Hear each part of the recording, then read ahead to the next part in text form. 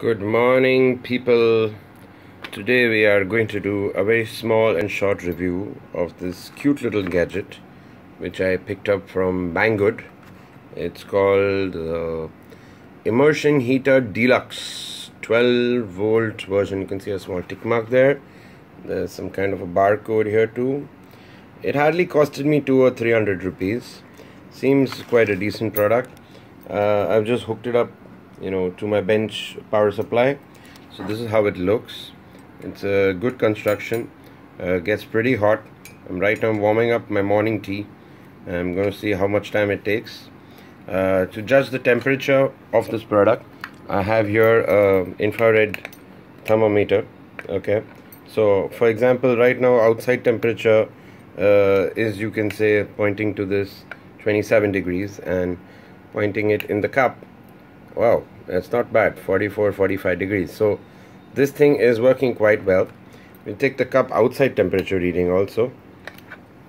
That's 41 so internally it's 40 wow it's it is going up.